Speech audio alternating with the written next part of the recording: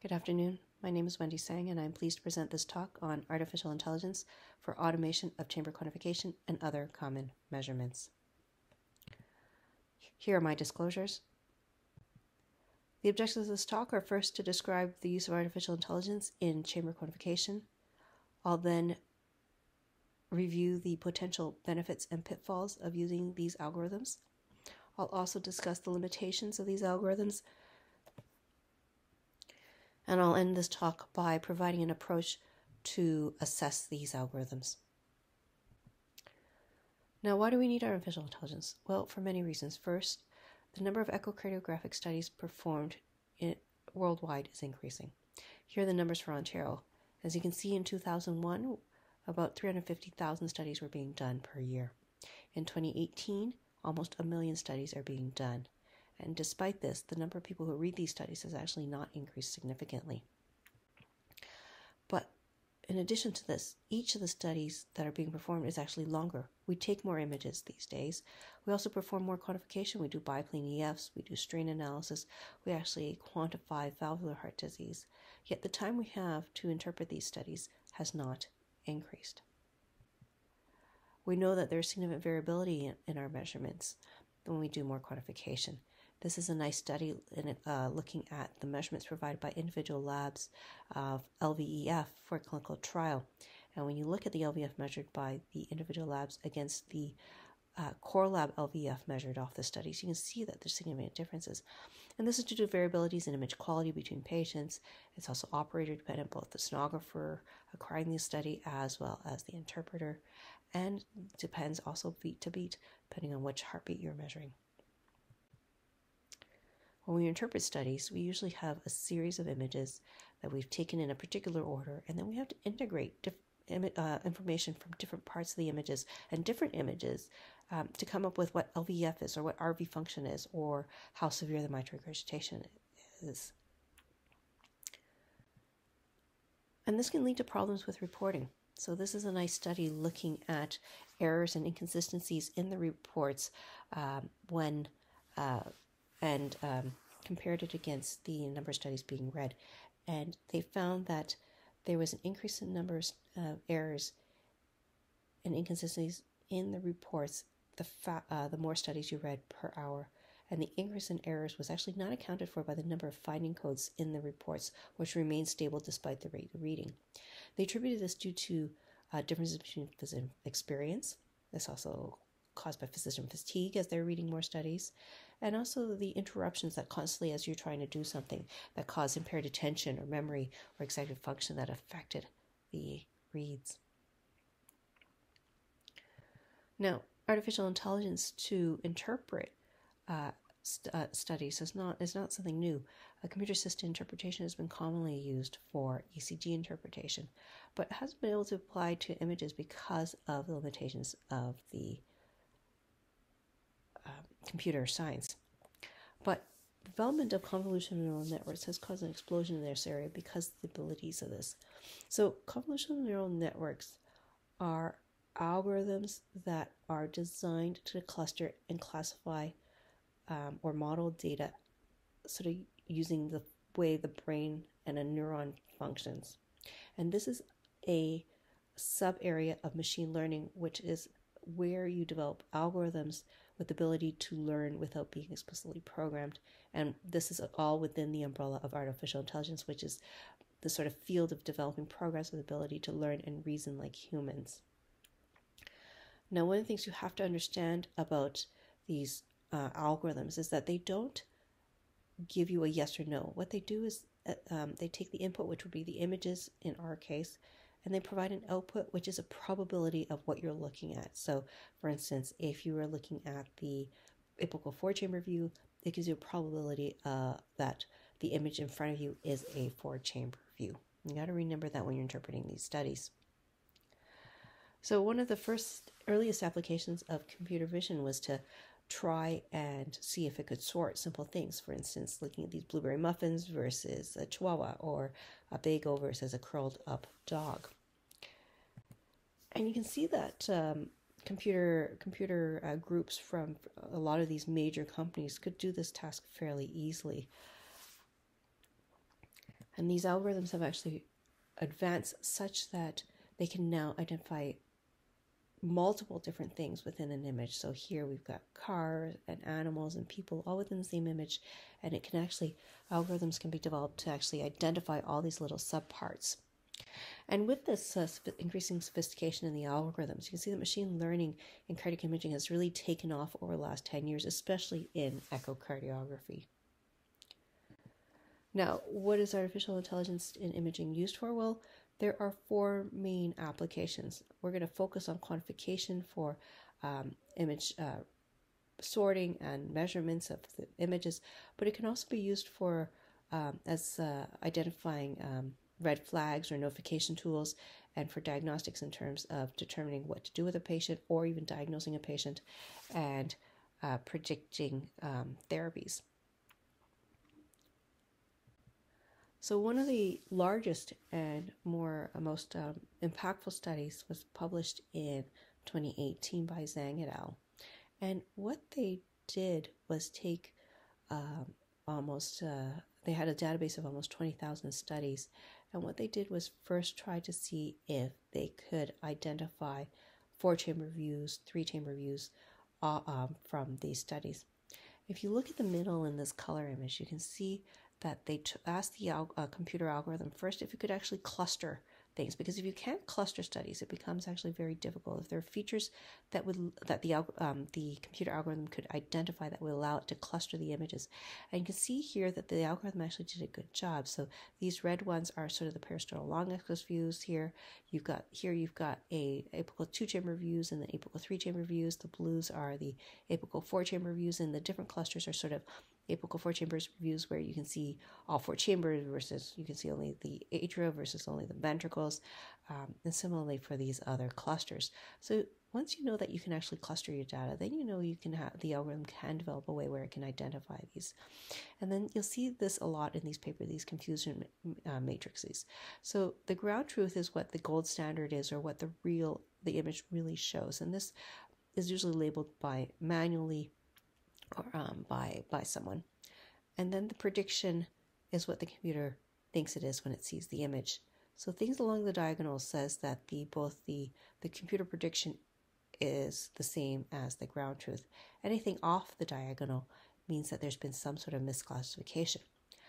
One these scientists actually put these echocardiographic studies and saw if it could identify the different um, different echocardiographic images, the two chamber, four chamber, three chamber views, etc. They were able to show that they could do an 80, they were 84% correct for specific views and 96% for broad group views, which is very good. They also tried to see if they could segment the images, which means if they could find the blood pool versus the walls and then the ventricles and the chambers for the two, three, and four chamber views. And here's the sort of an example showing the actual image and then what someone manually contoured and then what the actual um, CNN or convolutional neural network uh, was able to. And you can see that they're very close. And when you look at the accuracy, uh, for example, the two chamber view for the left atrium versus the left ventricle versus the myocardium, you can see the percentages for accuracy were actually quite good. Now, convolutional neural networks has also been used to look at Doppler images, PW and CW images, in addition to just the B mode images, and you see the accuracy of doing this has been good, high at um, 94.4 um, percent, and the time to do this is actually quite short. It only takes 0.87 seconds uh, per study for the algorithm to identify all the images.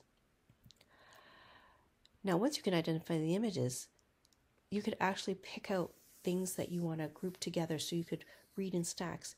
And so this is a, a data showing that um, that computers uh, algorithms can not only identify the images, but they can also stack them so that they could be useful for rate for reading. Here you could create an LV stack, an LA stack, or you can even just pull out all the images related to mitral valve, and you see that the complete stacks are um, that the algorithms can do this very well once they know what they're looking for.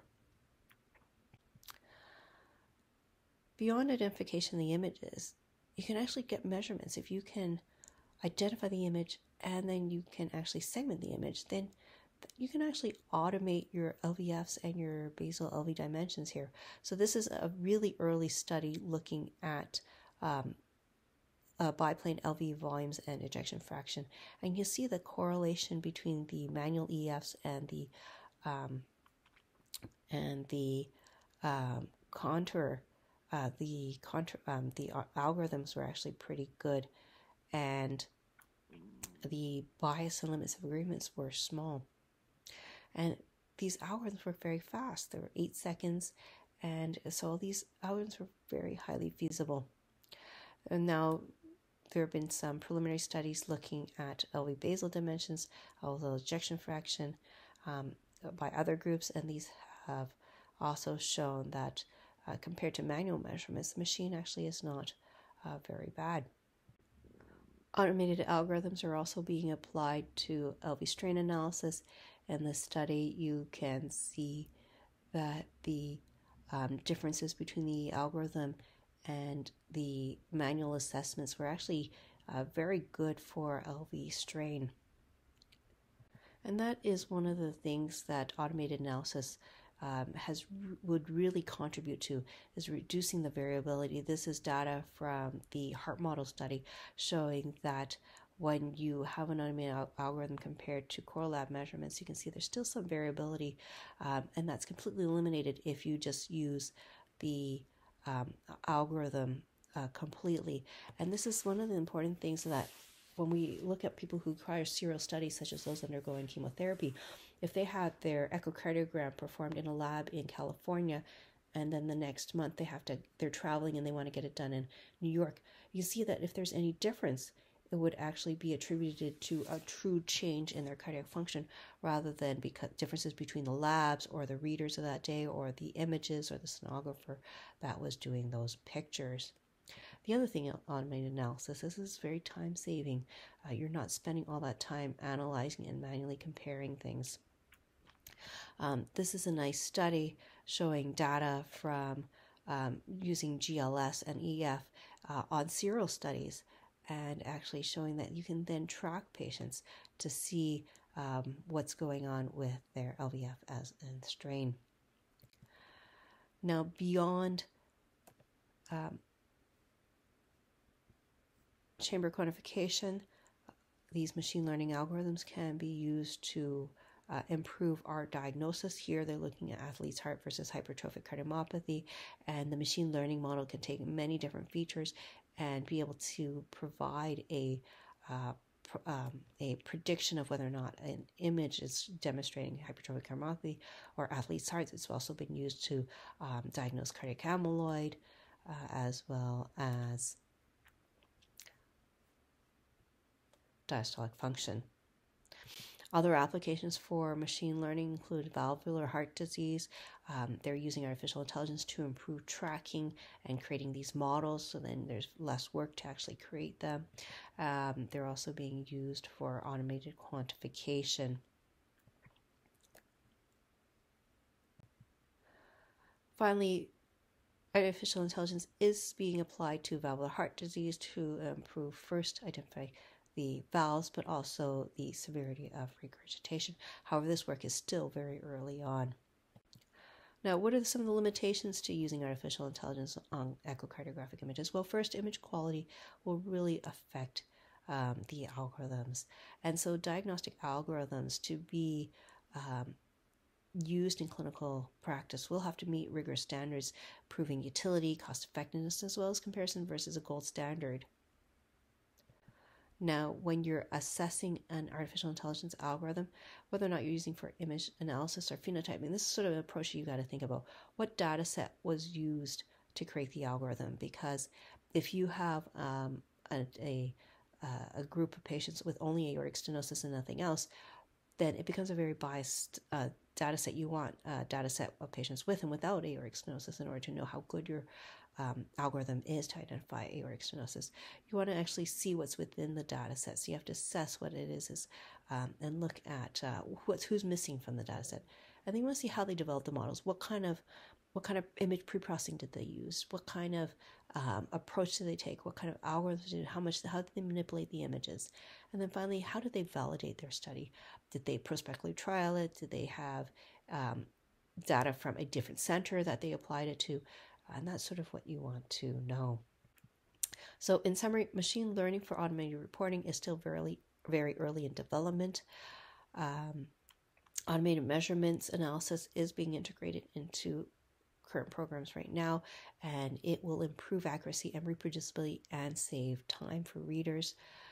It will ultimately change the workflow because then you will have a machine perhaps telling you how to acquire the images and then analyzing it for you, providing a report, and it'll change our workflow. It'll also re- uh, alter how research and clinical trials will be done, and it may lead to patient specific um, improvements in tracking and interpretation and care. Uh, thank you for your time.